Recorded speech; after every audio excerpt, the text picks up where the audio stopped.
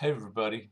Um, for many of you guys that don't already know me um, or haven't been keeping in touch with a lot of my videos, uh, I have been here for my new year 2024 I have been wanting to um, get more exercise and um, not really depend on a lot of uh, everybody else to get me around town. Um, so I have been walking a lot. Um, good example is um, just the other day I have uh, walked for 13 miles and um, I say 13 because uh, here in the city that I live in, um, there is a trail that goes around the city, and um, it it starts at uh, one location that is a park, and it goes around the city and ends up at um, the beach. So um, I I always wanted to try it, and um, and and I felt like um, it's a good place to um, get some good exercise, to um, meditate, um, see things around the city.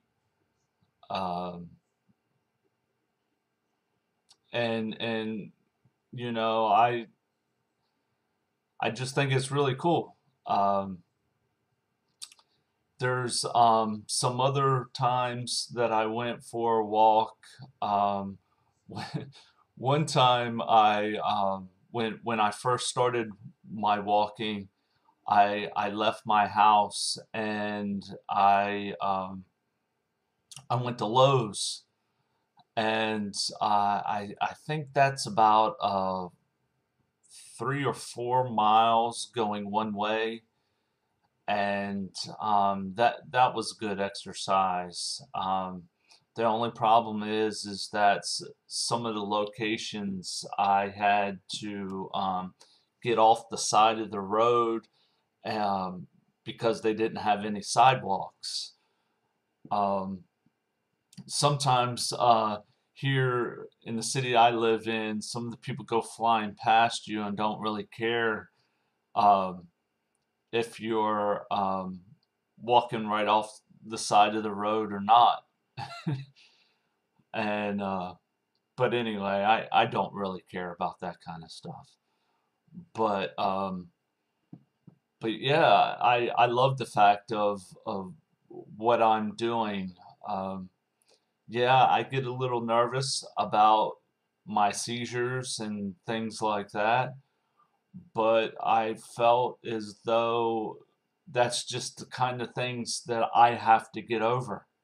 You know, if if my wife is to pass away before me, I still have to um, get from one place to another. If it's going to the grocery store or going to a doctor's appointment or something like that. And I I don't want to depend so much on uh, taxi or or a bus um, and things like that. I mean, you can see behind me that I, I used to be in the army, and um, you know, even though I was in army aviation, um, and we would fly and go to places. Um, we would still have to hike and, and go to places and do things and and stuff like that. And and you know that that was the kind of things that I enjoyed doing. Um, not only that um, uh, me and my brother and some other people in my family we we always enjoy going to the mountains and and going hiking in the mountains and things like that too. So so I I depend a lot on my feet you know, and um, and, and so if I got if I have to get around town and and I have to walk and stuff like that, that those are just the things that I have to get over.